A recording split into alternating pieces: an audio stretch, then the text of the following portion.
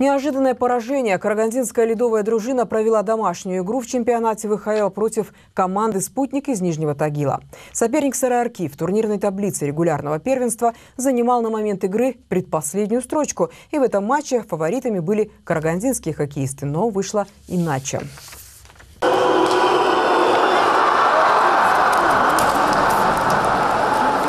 Игровое преимущество не всегда приводит к успеху. В первом периоде хозяева льда владели инициативой и бросков по воротам нанесли в разы больше, чем спутник. А вот хоккеисты из Нижнего Тагила совершили всего три броска. Из них два завершились взятием ворот Владимира Ковача. Во втором периоде карагандинцы бросились отыгрываться, и в одном из моментов Константин Макаров показал свое мастерство. Одним движением ушел от защитника, другим переиграл вратаря. Трибуны оживились и погнали Сарарку вперед. В начале третьего периода Владислав Лучкин сравнивает счет.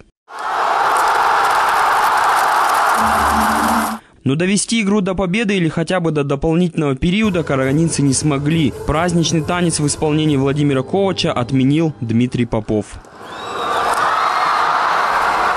Мы сегодня играли с очень приличным соперником. Где-то нам немножко повезло, где-то нас подвыручил вратарь. Но мы шли к этому, нам очень давно не повезло, у нас много поражений в одну шайбу. Сегодня просто фортуна и Господь Бог был на нашей стороне. Команда очень приличная. Все прекрасно видели, что СРРК владела преимуществом всю игру. Сегодня первый период. Плохое движение, никакая самоотдача, единоборство никакое. Но просто мы проиграли э, первым периодом.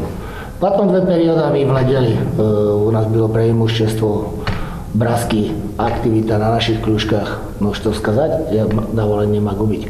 Претензий за два периоды нет у меня, но что сказать, хоккей играется три периода. Это нельзя повторять.